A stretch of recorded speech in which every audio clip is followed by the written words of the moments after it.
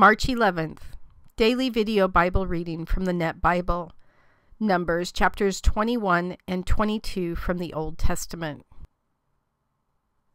When the Canaanite king of Arad, who lived in the Negev, heard that Israel was approaching along the road to Atharim, he fought against Israel and took some of them prisoner.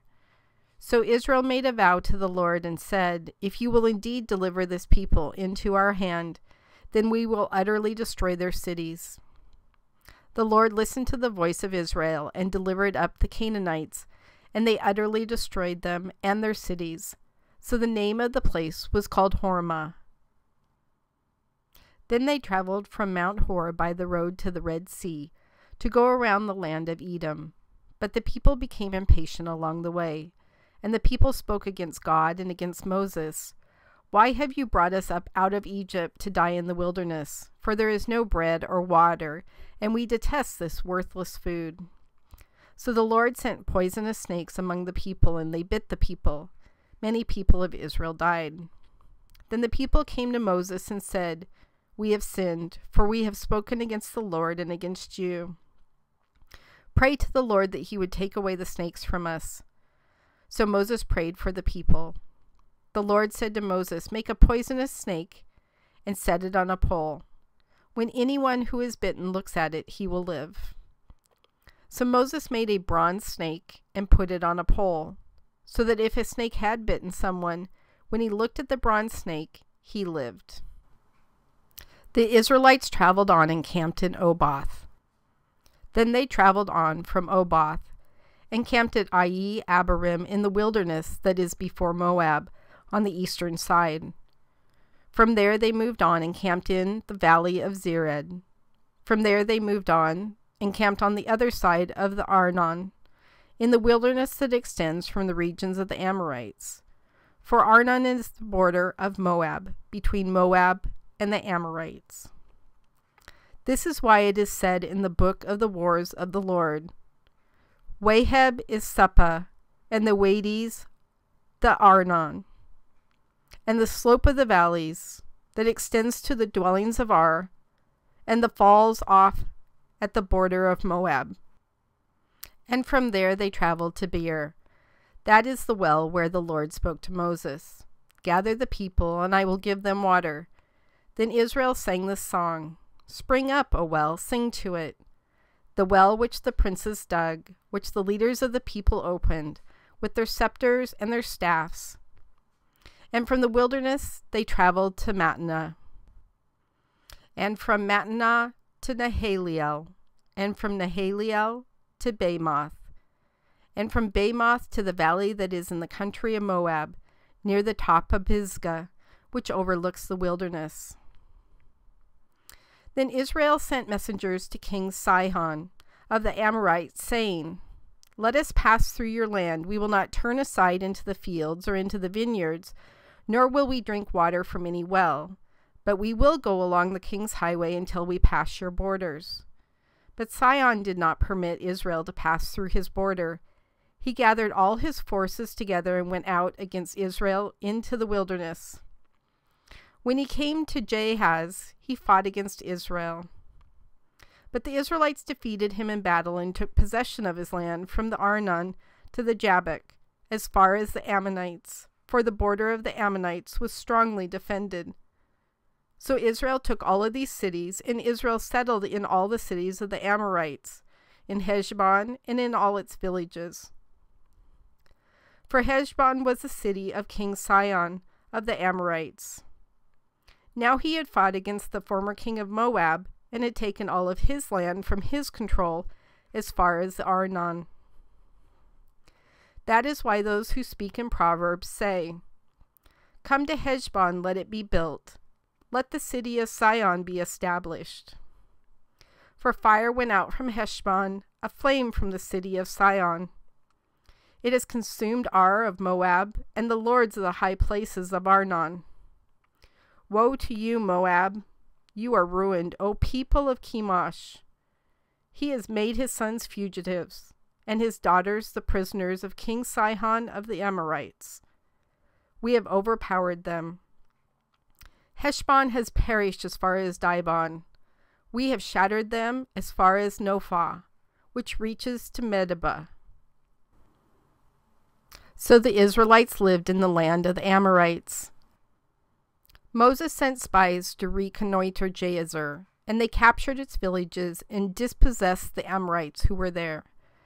Then they turned and went up by the road to Bashan. And King Og of Bashan and all his forces marched out against them to do the battle at Edrei. And the Lord said to Moses, Do not fear him, for I have delivered him and all his people and his land into your hand. You will do to him what you did to King Sihon of the Amorites, who lived in Heshbon. So they defeated Og, his sons, and all his people until there were no survivors, and they possessed his land. The Israelites traveled on and camped in the plains of Moab on the side of the Jordan River across from Jericho. Balak, son of Zippor, saw all that the Israelites had done to the Amorites. And the Moabites were greatly afraid of the people because they were so numerous. The Moabites were sick with fear because of the Israelites. So the Moabites said to the elders of Midian, Now this mass of people will look up everything around us, as the bull devours the grass of the field. Now Balak, son of Zippor, was king of the Moabites at this time. And he sent messengers to Balaam, son of Beor at Pethor, which is by the Euphrates River in the land of Ammah, to summon him, saying, Look, a nation has come out of Egypt they cover the face of the earth, and they are settling next to me. So now please come and curse this nation for me, for they are too powerful for me.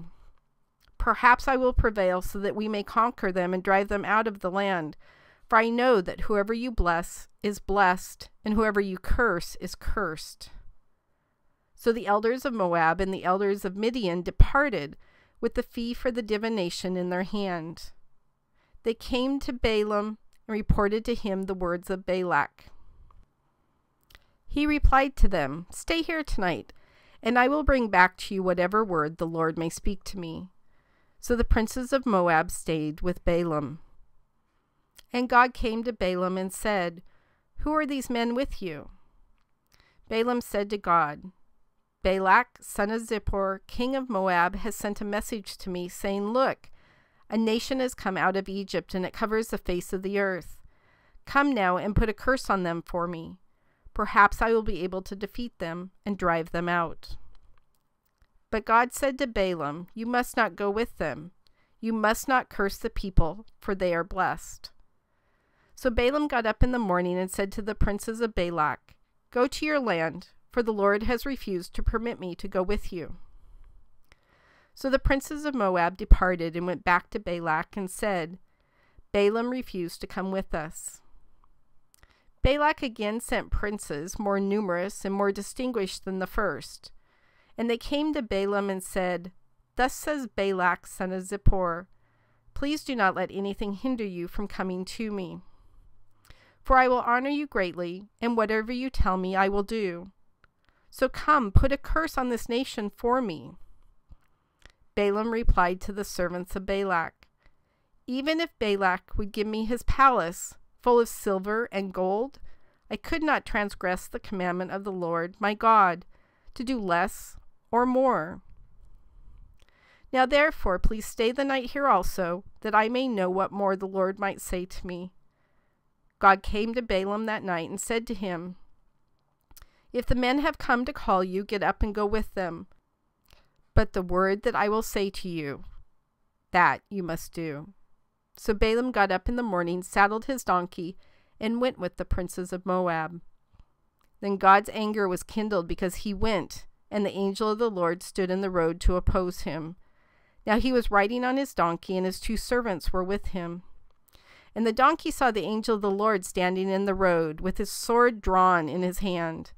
So the donkey turned aside from the road and went into the field. But Balaam beat the donkey to make her turn back to the road. Then the angel of the Lord stood in a path among the vineyards, where there was a wall on either side. And when the donkey saw the angel of the Lord, she pressed herself into the wall and crushed Balaam's foot against the wall. So he beat her again. Then the angel of the Lord went farther, and stood in a narrow place where there was no way to turn either to the right or to the left. When the donkey saw the angel of the Lord, she crouched down under Balaam. Then Balaam was angry, and he beat his donkey with a staff. Then the Lord opened the mouth of the donkey, and she said to Balaam, What have I done to you that you have beaten me these three times? And Balaam said to the donkey, You have made me look stupid. I wish there were a sword in my hand, for I would kill you right now. The donkey said to Balaam, Am not I your donkey that you have ridden ever since I was yours until this day? Have I ever attempted to treat you this way? And he said, No. Then the Lord opened Balaam's eyes, and he saw the angel of the Lord standing in the way, with his sword drawn in his hand. So he bowed his head and threw himself down with his face to the ground. The angel of the Lord said to him, Why have you beaten your donkey these three times? Look, I have come out to oppose you, because what you are doing is perverse before me. The donkey saw me and turned from me these three times. If she had not turned from me, I would have killed you, but saved her alive. Balaam said to the angel of the Lord, I have sinned, for I did not know that you stood against me in the road. So now, if it is evil in your sight, I will go back home. But the angel of the Lord said to Balaam, Go with the men, but you may only speak the word that I will speak to you. So Balaam went with the princes of Balak. When Balak heard that Balaam was coming, he went out to meet him at the city of Moab, which was on the border of the Arnon at the boundary of his territory. Balak said to Balaam, Did I not send again and again to you to summon you? Why did you not come to me? Am I not able to honor you? Balaam said to Balak, Look, I have come to you. Now am I able to speak just anything? I must speak only the word that God puts in my mouth. So Balaam went with Balak, and they came to Kiriath Huzoth. And Balak sacrificed bulls and sheep, and sent some to Balaam, and to the princes who were with him. Then on the next morning Balak took Balaam, and brought him up to Bamoth Baal from there he saw the extent of the nation.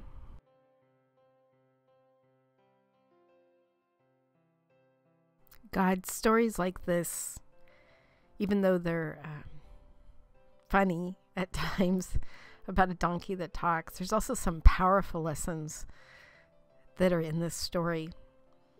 You know, Balaam is isn't as dutiful as he comes across. He's actually, it's all about the money that he's trying to get from Balak, uh, and even more money potentially from Balak. And you knew his true heart. I think that's the most important part of this story. You knew what his true heart was throughout this. You know, I think about us and, and how we can look good on the outside. We can put on a good front. We can appear to be doing all the right things. Yet, just like the Pharisees, our, our insides can can be destroyed with sin. I love what the what you had the donkey say. Am I am not I your donkey that you have ridden ever since I was yours until this day? Have I ever attempted to treat you this way? And I think sometimes when when we go through life and something seems off, we should really pay attention to it and not so much to cry out to you to fix things, but perhaps to take the time to look at ourselves and see if the insides of us, what we're choosing as sin over you, is actually causing us in this situation to either feel really far from you, feel like you're not listening to us, to feel like you're pushing us up against a brick wall, um, like the donkey was when things in our life seem a little bit odd, I think it's really good for us to pause and, and really take a look at that. I know you want us to cry out to you and depend on you and, and talk to you through prayer. And then we really need to look inside of ourselves, inside of our heart, and see if it's not sin that we're choosing to keep in our life over doing your will. I was just having an interesting conversation with someone last night about that that if we say that we are Christian, yet we continue to choose a sin throughout our life and we choose that sin over following you, are we really Christian? Are we really saved? It was an interesting conversation. but God, I think that part of the story has to do with that. That we really need to look at the fruit in our our own lives and if if our lives aren't producing fruit, if our lives aren't following your will, something will be off. And we've all been around long enough to know when something is off in our life and I think we need to pay really close attention to that. So God, today can you help us with some of those details? help us be intentional about realizing when things are a little bit different in our life and, and maybe we should pay attention to something that just has always been a certain way ever since we have known and now something seems to be going in a different direction. And to be aware of that for your glory of course. In your son's name we pray. Amen